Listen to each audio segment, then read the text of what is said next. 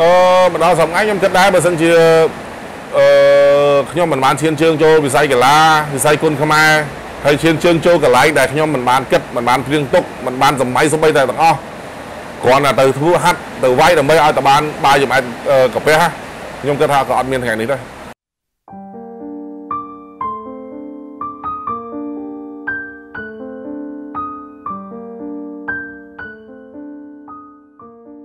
លោកសុនអេលីត ត្រូវបានគេស្គាល់ថាជាបុគ្គលដែលមានប្រជាប្រិយភាពមួយរូបក្នុងវិស័យប្រដាល់នៅកម្ពុជា តាមរយៈការបង្កើតក្លឹបប្រដាល់គុនខ្មែរ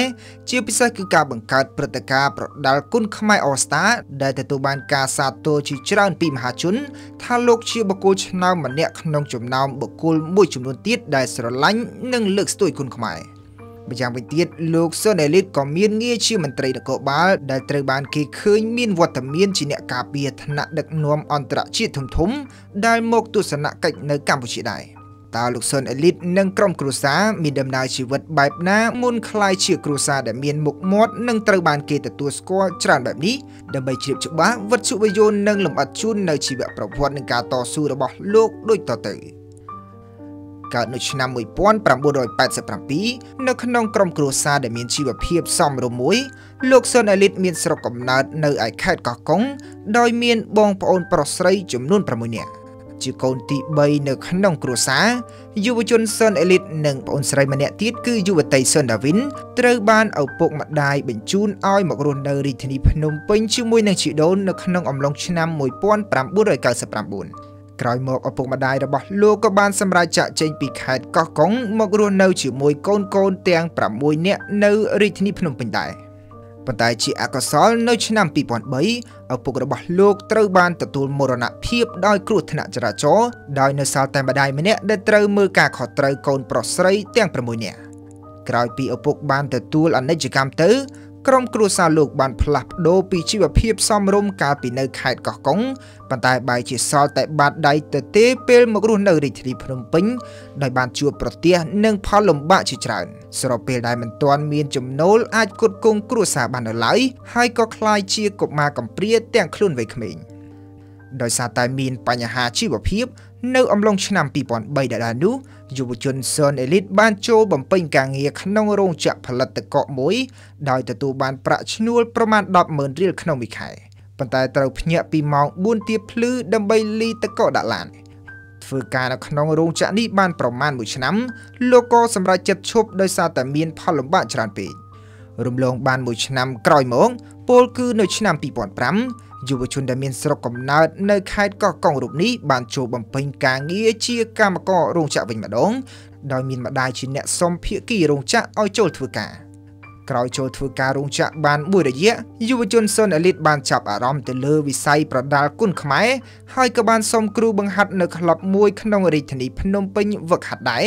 ដោយមិនមានគោលដៅច្បាស់នោះឡើយ ប៉ុន្តែក្រោយមកលោកត្រូវបានសហព័ន្ធប្រដាល់សកលកម្ពុជាជ្រើសរើសជាកីឡាករជម្រើសជាតិប៉ុន្តែដោយសារតែទទួលបានប្រាក់បៀវត្សតិចតួចមិនអាចផ្គត់ផ្គង់ការចំណាយបាន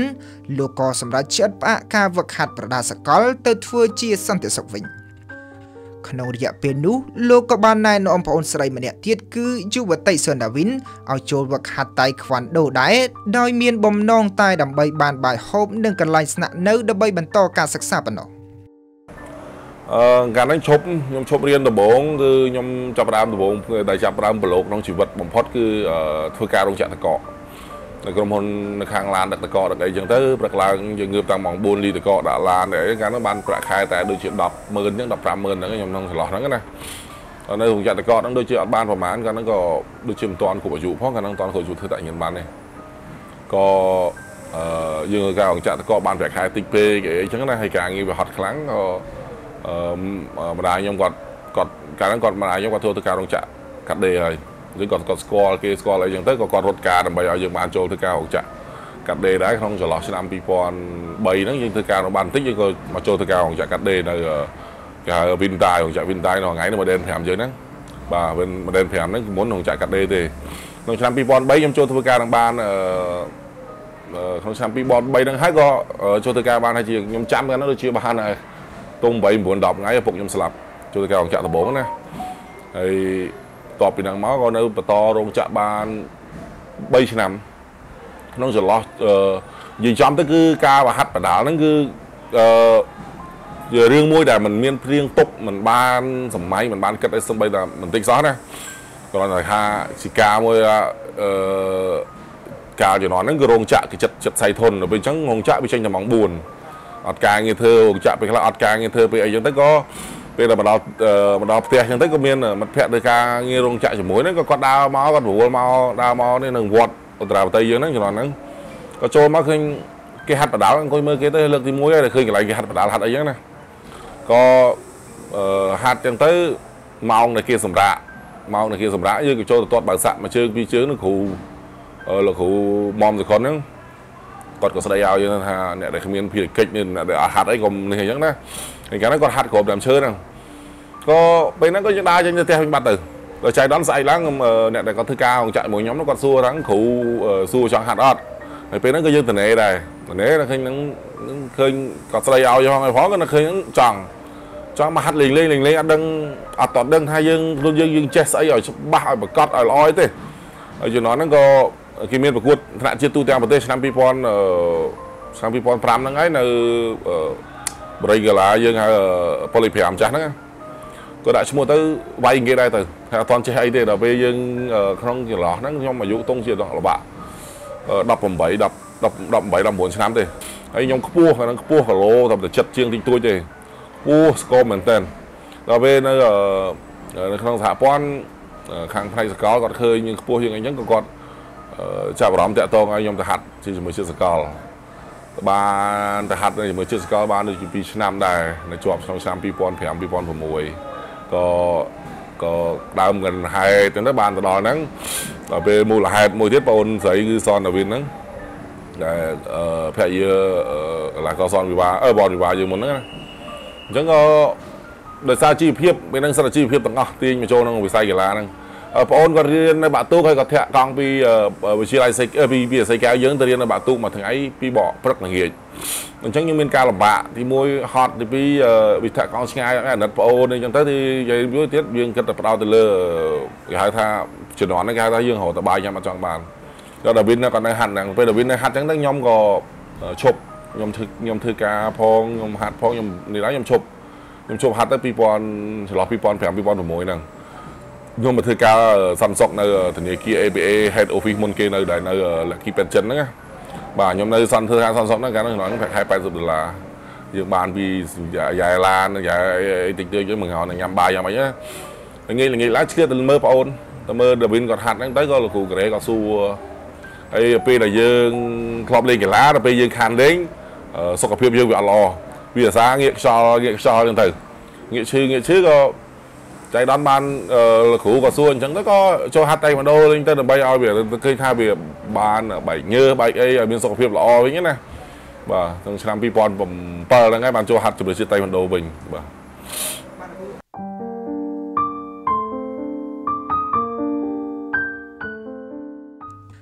បន្ទាប់ពីបំពេញការងារជាសន្តិសុខបានមួយរយៈនៅអំឡុងឆ្នាំ2007លោកត្រូវបានគ្រូបង្ហាត់ជ្រើសរើសនិងបញ្ជូនឲ្យទៅវឹកហាត់តៃខ្វាន់ដូនៅប្រទេសកូរ៉េជាមួយនឹងប្អូនស្រី ដើម្បីត្រៀមចូលរួមប្រកួតកីឡាស៊ីហ្គេមនៅប្រទេសថៃនៅក្នុងដំណើរការវឹកហាត់នៅក្រៅមាតុប្រទេសនេះ យុវជនសនអេលីតនិងប្អូនស្រីគឺយុវតីសនាវិនត្រូវបានរងការរើសអើងពីសំណាក់អ្នកវឹកហាត់ដូចគ្នា ជាពិសេសទទួលរងនៅផលលំបាកដោយសារតែអាកាសធាតុនិងការវឹកហាត់ប៉ុន្តែយ៉ាងណាលោកទទួលបានសមិទ្ធផលមេដាយសម្រាប់មួយគ្រឿងពីការប្រកួត SEA Games ឆ្នាំ2007នៅប្រទេសថៃហើយទៅហាត់ដល់ស្រុកកូរ៉េមានមានមានប្រវត្តិកំសត់ទៅកូរ៉េ2ខែដូចទៅ2ឆ្នាំអញ្ចឹង យើងចេញក្រៅប្រទេសលើកដំបូងហើយនៅក្នុងក្រុមមានបញ្ហានៅក្នុងក្រុមដូចថាយើងវាអន់ជាងគេយើងហៅថាយើងយើងទៅគឺអន់គ្រប់សពបែបយ៉ាងទាំងជីវភាពទាំងស្អីស្អីណាពេលអញ្ចឹងនៅក្នុងក្រុមគេមិនសូវឲ្យតម្លៃមិនសូវឲ្យតម្លៃទៅក្នុងកីឡាករទៅមួយក្រុមដល់ពេលគេគេចែកជាពីរប៉ាក់3ប៉ាក់អីចឹងទៅដល់ពេលយើងពីរអ្នកបងប្អូនអត់អាចដែរដឹងឯទាំងអស់នៅក្រៅប្រទេសដំបូងណាក៏មានមានបញ្ហាច្រើនណាស់ទៅទៅហាត់នៅកូរ៉េដំបូងគេបំផុត ពីរអ្នកបងគេខ្លះក៏យំផងឯផងនឹកផ្ទះនឹកអីទៅមានរឿងច្រើនទទួលចេញក្រៅប្រទេសលើកដំបូងលើកដំបូងហ្នឹងហើយម្ដាយខ្ញុំគាត់អឺគ្រោះថ្នាក់ដួលជីកង់គេគៀគាត់ទៅដួលបាក់ដៃទៀតយើងពីរអ្នកបងនៅនោះហើយនៅយើងនៅក្មេងៗផងចេញប្រទេសលើកដំបូងនៅអាយុហើយជា9 10 20អីហ្នឹង20ឆ្នាំហ្នឹង2007ហើយអាយុតែ20ឆ្នាំបាត់ពិសោធន៍ទៅពេលអញ្ចឹងបងអូនស្រីខ្ញុំតាមដាវីនហ្នឹងតាមតែបាន6 7 10ហ្នឹង ទៅហាត់ដូចជាជំនាន់ហ្នឹងដាវីនដូចជាមិនបាន6 10ស្រួលផងទៅហាត់នៅកូរ៉េជាមួយខ្ញុំដំបូងហ្នឹងហើយការវឹកហាត់គេខ្លាំងណាស់នៅស្រុកកូរ៉េគេហាត់ខ្លាំងណាស់គេហាត់គ្រាន់តែគេ exercise គេហ្នឹងយើងអស់លីងមកហើយមិនដូចស្រុកខ្មែរយើងហាត់ម៉ោងម៉ោងជាងទីទួយគ្រាន់តែ exercise គេជាងកន្លះម៉ោងយើងយើងយើងអស់ទុនដៃទុនជើងមកហើយអញ្ចឹងទៅស្ទាំនឹងអាកាសធាតុត្រជាក់ផងស្ទាំនឹងការវឹកហាត់គេវាហាត់កម្រិតគេហាត់ធ្ងន់ផងហើយផងយើងទទួលយើងមកយើងគឺមានការលំបាកខ្លាំង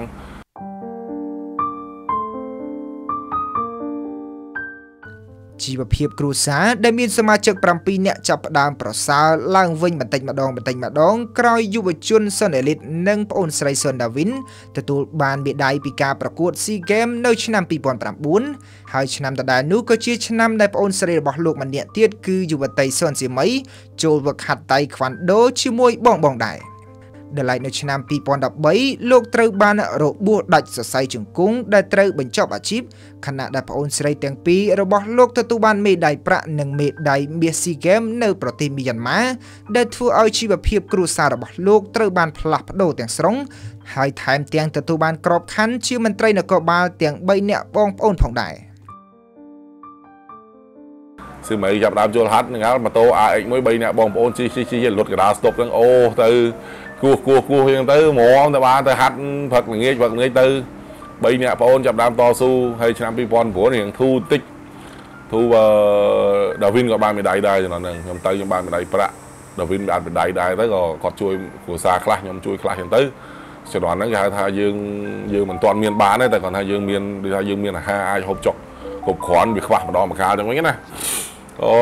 មិនទៅអីហ្មងទេដល់ក្នុងឆ្នាំ2010 2010 2011ចាប់ដើមសឺមីក៏ចេញបានមេដៃអីអីដំបូងហ្នឹងទៅក៏ចាប់ដើមជីវភាពគ្រួសារចាប់ដើមយើងចាប់ដើមរៀងធូរធារច្រើនទៅវិញទៅវាជួយជ្រុំជ្រែងនេះបន្តិចបន្តិចអ្នកណាហើយខ្ញុំដូចខ្ញុំនិយាយហ្នឹងមនុស្សប្រុសវាវីដេអូដល់វ័យមួយដែលយើងដើរលេងក្នុងសង្គមដើរលេងអីក៏យើងកាត់បន្ថយទៅក៏បានបងប្អូនទាំងពីរនាក់ហ្នឹងគាត់ឬស្រីផងនឹងស្រាប់ហើយគាត់រកបានគាត់ឲ្យម្ដាយសឹងទាំងអស់ទាំងអស់ហ្នឹងណាក៏ចាប់ផ្ដើមជីវភាព រៀងក្រាន់បើក្នុងចន្លោះឆ្នាំអឺ2012 2013ហ្នឹងទៅរហូតបន្តមកដល់2013ហ្នឹងគឺសៀវមីគាត់បានមេដាយមាសស៊ីហ្គេមដាវីនបានមេដាយប្រាក់ហើយជំនាន់ហ្នឹងចូលលុយដូចចូលម៉ឺនហើយមេដាយមួយមួយចូលម៉ឺនហើយបានមាន sponsor មានការមានណាណាកាមាន smart អីហ្នឹងណាបានតិចតិចតិចចូលម៉ឺនហើយចូលម៉ឺនជាងហើយហើយខ្ញុំជំនាន់ខ្ញុំអត់បានមេដាយទេ ហើយគឺជាឆ្នាំដែលចុងក្រោយបំផុតដែលខ្ញុំដាច់សរសៃជង្គង់នៅមីយ៉ាន់ម៉ាហ្នឹងក៏ប៉ុន្តែជង្គង់ខ្ញុំមានបញ្ហាមុនហ្នឹងមួយឆ្នាំមួយឆ្នាំហើយ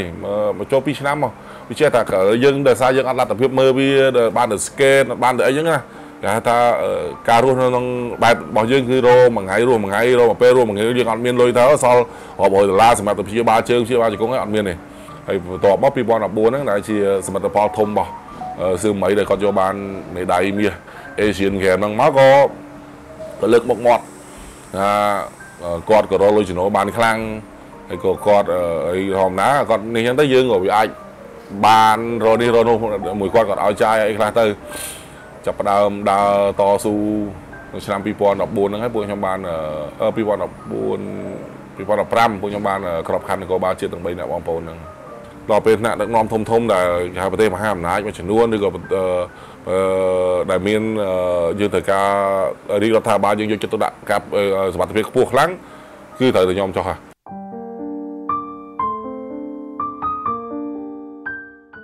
លោកសុនេលីតបានអះអាងដែរថាប្រសិនបើមិនបានចូលប្រឡូកក្នុងវិស័យកីឡានោះគ្រួសាររបស់លោកក៏ប្រហែលជាមិនអាចមានមុខមាត់និងមានជីវភាពធូរធារដូចបច្ចុប្បន្នដែរ